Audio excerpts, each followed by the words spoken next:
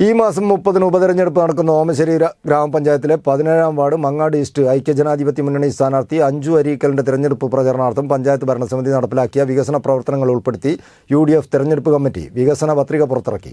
ജില്ലാ U D F chairman K Balanarayanan ചടങ്ങ് ഉദ്ഘാടനം ചെയ്തു. ഈ മാസം മുപ്പതിന് ഉപതെരഞ്ഞെടുപ്പ് നടക്കുന്ന ഓമശ്ശേരി ഗ്രാമപഞ്ചായത്തിലെ പതിനേഴാം വാർഡ് മങ്ങാട് ഈസ്റ്റിലെ ഐക്യജനാധിപത്യ മുന്നണി സ്ഥാനാർത്ഥി അഞ്ചു അരീക്കലിന്റെ തിരഞ്ഞെടുപ്പ് പ്രചരണാർത്ഥമാണ് പഞ്ചായത്ത് ഭരണസമിതി കഴിഞ്ഞ മൂന്ന് വർഷം നടപ്പിലാക്കിയ വികസന പ്രവർത്തനങ്ങൾ ഉൾപ്പെടുത്തി യു ഡി എഫ് തെരഞ്ഞെടുപ്പ് കമ്മിറ്റി വികസന പത്രിക പുറത്തിറക്കിയത്. വിവിധ പദ്ധതികളിലായി നാൽപ്പത്തിയൊന്ന് കോടിയിലധികം രൂപയുടെ വികസന പ്രവർത്തനങ്ങളാണ് യു ഡി എഫ് നേതൃത്വം നൽകുന്ന നിലവിലെ പഞ്ചായത്ത് ഭരണസമിതി നടപ്പിലാക്കിയതെന്ന് വികസന പത്രികയിൽ പറയുന്നു.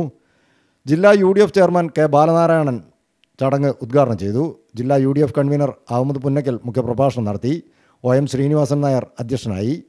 P V Sadiq P Girish Kumar P K Gangadharan Nasar Estate Mukku Yunus Ambalakkandi Shihab Velimanna C T Bharathan K Karunakaran master Sainuddin Kolathakkara സ്ഥാനാർത്ഥി അഞ്ജു അരീക്കൽ തുടങ്ങിയവർ.